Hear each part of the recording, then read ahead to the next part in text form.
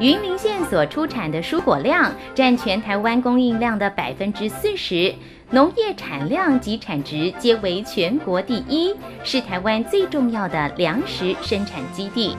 作为台湾农业首都的云林县，除了拥有优越的地理条件以及勤奋的农民朋友之外，同时也积极落实安全农业的政策，